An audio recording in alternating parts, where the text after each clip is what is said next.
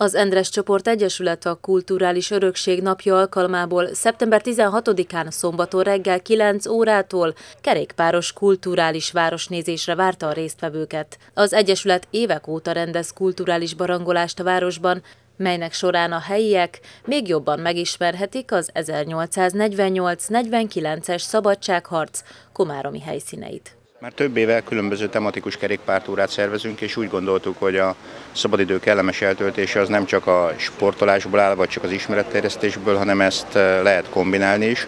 Régebben nagyobb túrákat rendeztünk, most úgy gondoltuk, hogy egy, egy rövidebbel eh, a fiatalabbak is, idősebbek is eh, jobban eljönnek, és a 1848-49-es szabadságharc emlékhelyét érintjük.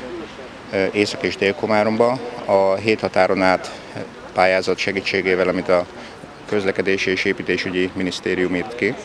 Az önkormányzat is támogatja a rendezvényünket, és szakavatott vezetőnk lesz.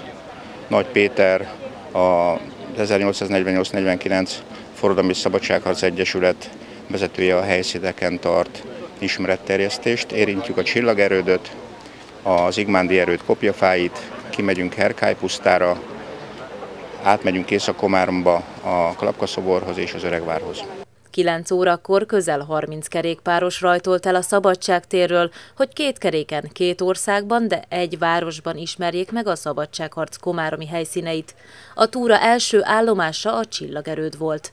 Az esemény társszervezői az 1848-49-es Forradalom és Szabadságharc Közhasznú Egyesülete, a Komáromi Erődök Barátainak Egyesülete, a Tolma Baranta Sport és Kulturális Egyesület, a Kárpátia Sportpolgári Társulás, a Felvidéki Értékörzők Polgári Társulás, valamint a Magyar Hatodosok Kulturális és Hagyományőrző Egyesület. A túra végén a résztvevőket oklevéllel jutalmazták és szendvicssel kínálták.